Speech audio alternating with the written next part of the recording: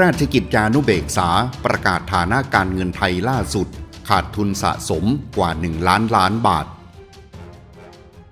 วันที่ 22 ตุลาคม 2563 เวลา 11นาฬิก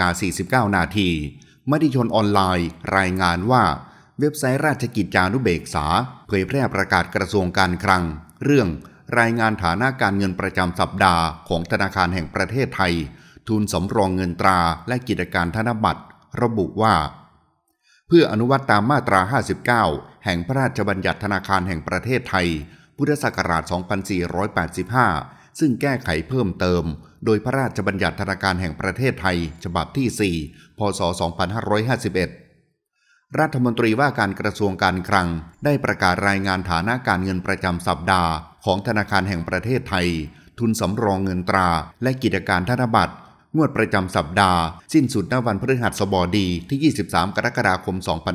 2563 และงวดประจำสัปดาห์ สิ้นสุดณวันพฤหัสบดีที่ 30 กรกฎาคม 2563 แนบท้ายประกาศนี้ ประกาศณวันที่ 28 สิงหาคม พศ 2563 นายละวรแสงสนิท ผู้อำนวยการสำนักงานเศรษฐกิจการคลัง ปฏิบัติราชการแทน รัฐมนตรีว่าการกระทรวงการคลัง ทั้งนี้ ในท้ายประกาศแจ้งผลการขาดทุนสะสม ขาดทุนสะสม 1 ล้าน 69,366 ล้าน 246,596 ล้านบาท เพื่ออนุวัตตามมาตรา 59 แห่งพระราชบัญญัติธนาคารแห่งประเทศไทย พุทธศักราช 2485 ซึ่งแก้ไขเพิ่มเติม โดยพระราชบัญญัติธนาคารแห่งประเทศไทย ฉบับที่ 4 พศ 2551